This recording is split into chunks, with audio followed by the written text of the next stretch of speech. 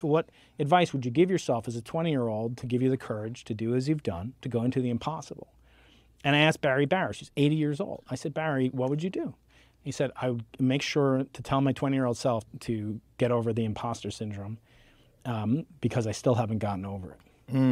So, what the hell are you talking about? You won the freaking Nobel Prize.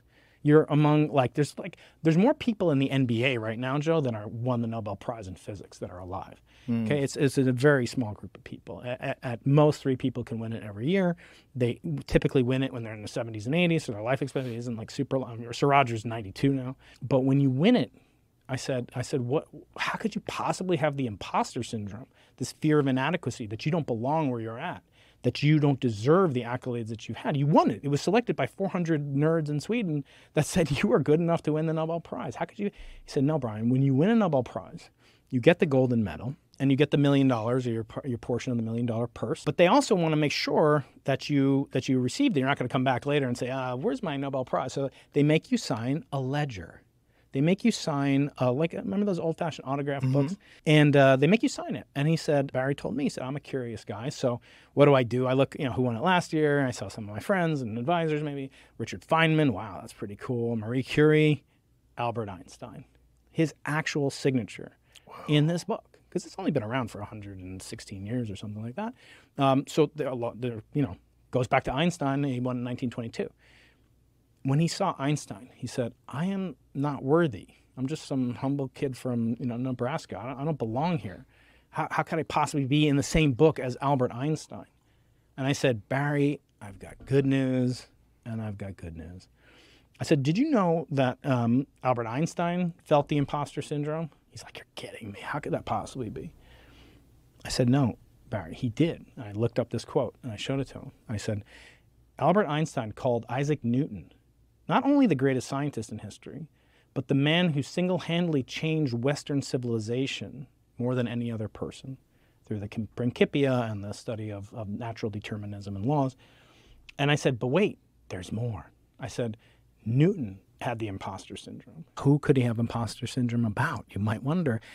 And if you read his writings, do you know what Isaac Newton, the creator of calculus, the uh, first person to understand universal gravitation, discovered laws of optics? Do you know what his biggest accomplishment, according to him, was? What? He died a virgin. Yeah, that was a weird one, right? Yeah, I was going to bring that up. He was celibate. You know why? Why? Because there's only one way that he could emulate his hero, his, the person before whom he felt the imposter syndrome. And who was that? That was Jesus Christ. Oh boy. So he wanted to be Christ-like. He wanted to emulate Christ, and the only way he could do it, he couldn't like fast or I don't know. He couldn't baptize, walk on water. He couldn't turn uh, water into wine. He couldn't turn loaves into fishes or whatever Jesus also did.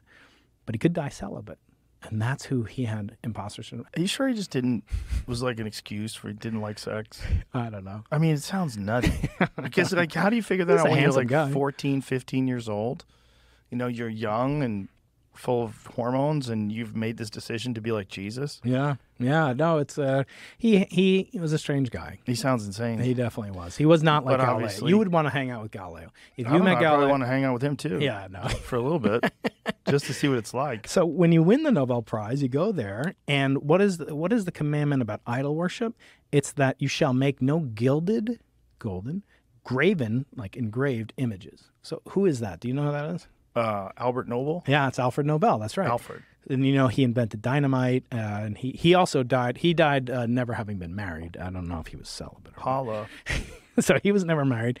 Um, but he uh, he established this prize. When you win it, you literally the king of Sweden comes up to you and you must bow down to him, and he puts the gilded graven image on your head. So for all the you know trappings and all the ninety percent of National Academy members who do not believe actively profess a belief in God, this can become at some level a religion. And it's a kosher one. It's okay to worship this, right?